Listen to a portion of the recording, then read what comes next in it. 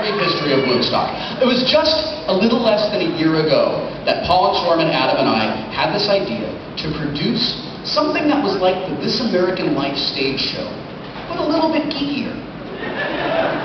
We thought it would give us an opportunity to perform with some people who are our favorite nerds and our favorite performers, sort of an overlapping perfect circle of the Venn diagram.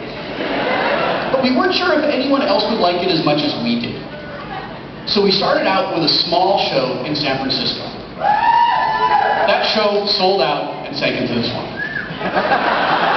So we did a second show in San Francisco. That show sold out and sank into the swamp.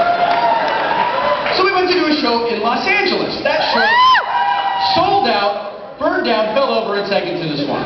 But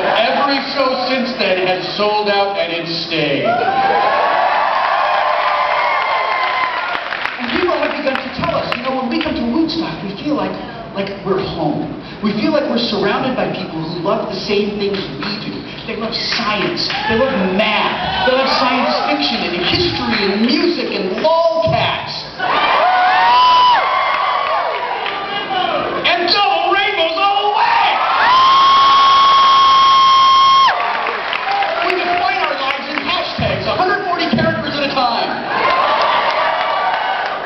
And we knew that we had made something awesome by accident.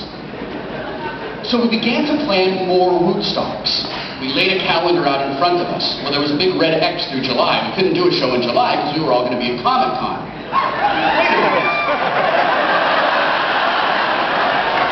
We're all going to be at Comic Con.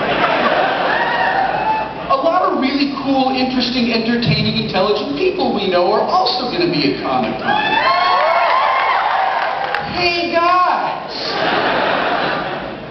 You think anyone will come if we do a show? I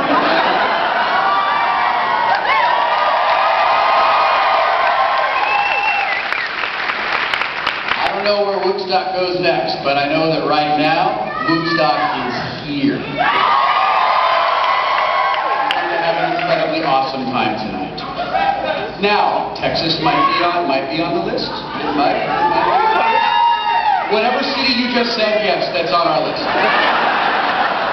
Now, we're going to start the show out a little bit differently than we normally do. Uh, usually we put this particular performer in the second half of the show, sort of an anchor for the second half, to sort of uh, give everybody something really exciting to look forward to in the second half of the show. Because everybody loves the Mythbusters.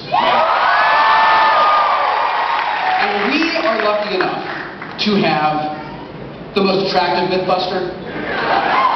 The Mythbuster who really carries the show. The Mythbuster who's really responsible for everything that, that makes Mythbusters exactly what it is. And we're going to start the show with him. Uh, ladies and gentlemen, if you please welcome to the stage, me really stretching because he's not where he's supposed to be. Hold on, uh, maybe we do need a flare gun. Remember that time that I was doing the introduction at W00tstock and we had this awesome thing planned and then the whole thing fell apart when I was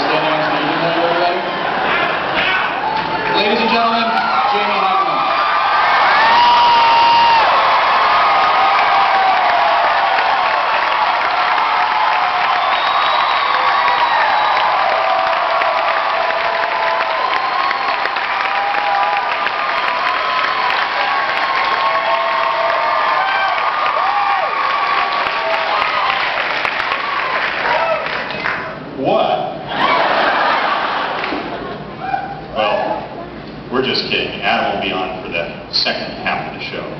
Next up is Paul and Storm.